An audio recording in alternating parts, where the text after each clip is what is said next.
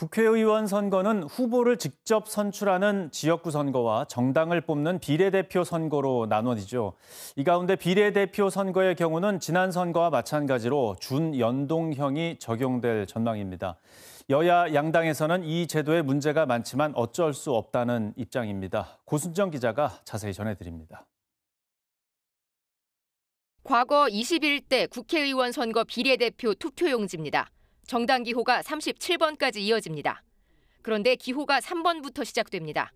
여야 양대 정당의 기호인 1번과 2번이 없습니다. 대신 양당이 만든 미래한국당과 더불어 시민당이라는 이름의 비례대표 선거용 위성 정당이 등장했습니다. 비례대표 선거 방식 때문이었습니다. 기존의 병립형 비례대표제에선 정당 선거 득표율만큼 해당 정당이 비례의석을 가져갔습니다. 보통 지역구 1등 정당이 비례 의석도 더 많이 가져갑니다. 그런데 직전 선거 때 도입된 연동형 비례대표제에선 비례 배분 방식이 전혀 달라졌습니다. 비례 의석을 배분할 때 국회의석 300석 전체를 기준으로 합니다.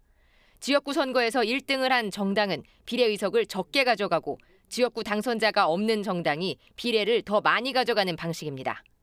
이를 응용한 준연동형 비례대표제가 지난 선거에 이어 이번 4월 선거에도 적용될 예정입니다. 기회를 많이 제공하기 위해서 연동제를 도입했으나 위성 정당으로 인해서 오히려 거대 정당이 더 그 비례대표를 더 가져가는 그런 부작용이 있었던 겁니다. 여야 양대 정당의 해법은 이번에도 위성 정당입니다. 더불어민주당은 다른 군소 정당들과 연합 위성 정당을, 국민의힘은 독자적인 위성 정당을 창당할 예정입니다. 여기에 비례 의석만을 노리는 정당이 잇따라 만들어지면서 현재 선거관리위원회에 등록된 정당과 창당준비위원회는 60개가 넘습니다. 처음 투표하는 입장으로서 투표용지가 너무 길고 모르는 당도 많아서 어, 이거 어떻게 투표해야 되지 약간 이런 어려움이 선관위는 이번에 정당 투표지가 너무 길어 투표지 분류기를 사용하지 못할 것으로 보고 완전 수개표를 준비하고 있습니다. KBS 뉴스 고순정입니다.